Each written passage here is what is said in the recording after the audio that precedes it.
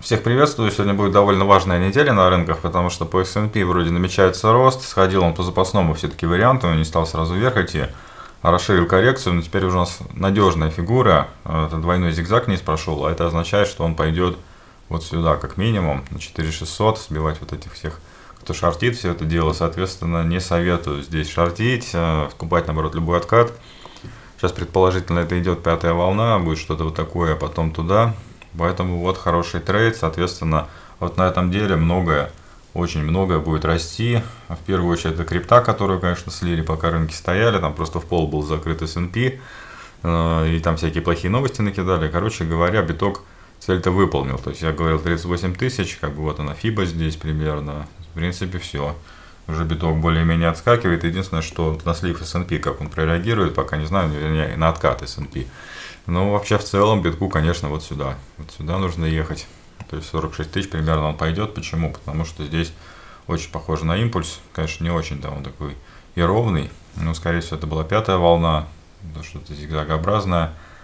А, и это полетит вот так. То есть так и нарисую. Ну, варианты какие запасные? Ну, такие. Как обычно. Ну, в общем, ничего такого нового. Кто будет покупать биткоины, думаю, не, не пожалеет. А по эфиру, вот он уже нормальный такой отскок дал. А, этот вариант, что сразу вверх, конечно же, не сработал. Тоже зигзагообразное что-то. Идем мы по эфиру куда-нибудь на 3300.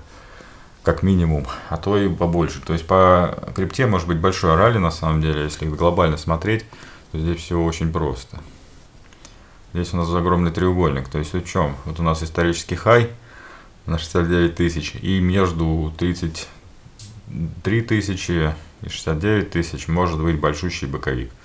То есть тут вот это на самом деле вот такое примерно жду. И это будет весело. Так что тут все выглядит хотя плохо сейчас, но когда будет цена где-то здесь или здесь, сами поймете, что как раз таки вторые волны самое лучшее, что можно покупать. Потому что это 1-2, либо АБЦ. Это лучше не бывает.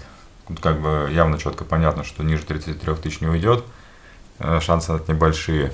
Но э, так, если прикинуть, а есть ли вариант вообще сюда действительно? Ну, пока что вряд ли есть, если только мы не увидим какой-то зигзаг вот такой. И вот такое вот что-то может быть, но и то вот таким вот макаром. Соответственно, тут по-любому будут какие-то отскоки. А, и покупать лучше, чем шортить, однозначно. Соответственно, если все рынки будут расти, что у нас с долларом? А доллар, как обычно, пойдет вниз.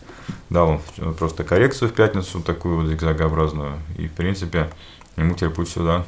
То есть он подтверждает то, что никуда это не вверх, это тоже коррекционная модель оказалась. Короче, над ними вверх коррекции идут вниз импульсы. Так что жду доллар сильно вниз. Соответственно, можно покупать любой откат по евро. Единственное, что тут не очень понятно, что это за структура. Я думаю, что это будет вот такое вот. Но это, конечно, совсем не точно. Вот такие штуки. А, есть э, вариант запасной, что сразу вверх. Ну, короче говоря, евро тянет прямо на 1.15 явно. И уже там уже надо будет, наверное, лонгиты закрывать. Пока так.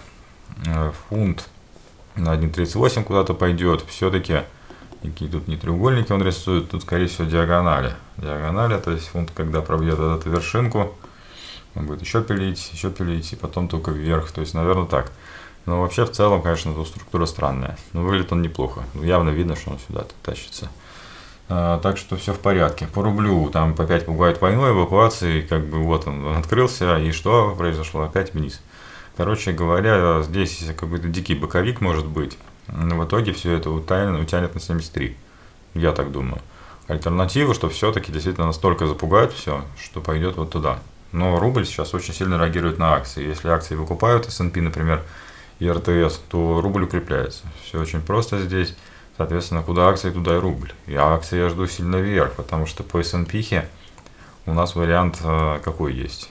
Вот такой-такой и вверх, или сразу вверх. То есть тут, э, ну, либо треугольники.